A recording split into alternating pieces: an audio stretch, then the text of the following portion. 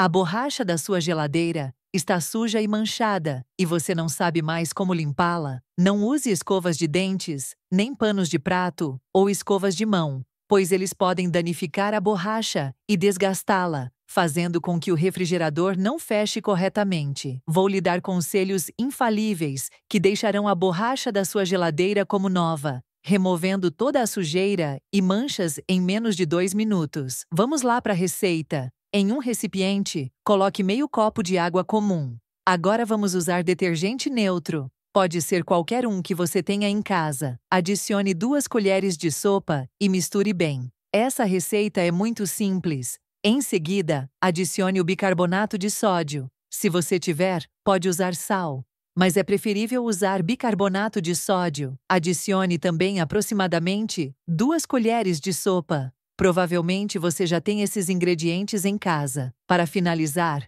usaremos vinagre. Tem de ser esse daqui, pois o outro não funciona. Adicione aproximadamente duas colheres de sopa, a mesma quantidade dos outros ingredientes. Observe que, ao adicionar o vinagre, pode ocorrer uma reação de formação de espuma devido ao bicarbonato. Isso é normal. Agora, misture tudo muito bem. Essa mistura poderosa removerá toda a sujeira da sua geladeira. Para facilitar a aplicação, despeje-a em um frasco de spray ou borrifador, usando um funil para não desperdiçar nada. Agora, vamos mostrar como fazer isso. Aplique essa mistura poderosa em toda a borracha da geladeira. Deixe agir por cerca de um minuto e meio. Em seguida, use um pano para limpar. Veja como a sujeira sai facilmente. Que prazer ver sua geladeira completamente limpa. A borracha de geladeira é uma peça fundamental para vedar o eletrodoméstico e também conhecida como gacheta. Funciona de amortecedor na hora de fechar a porta, além de impedir a perda do ar frio.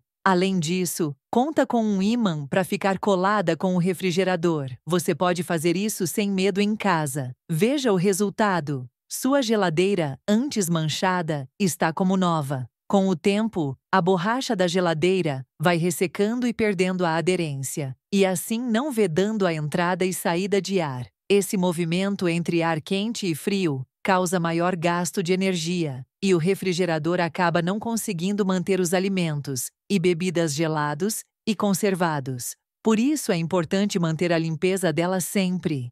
E isso é tudo, pessoal. Experimente e você não se arrependerá. Esse foi o nosso vídeo de hoje. Espero muito que vocês tenham gostado. Fiquem todos com Deus e até o próximo vídeo.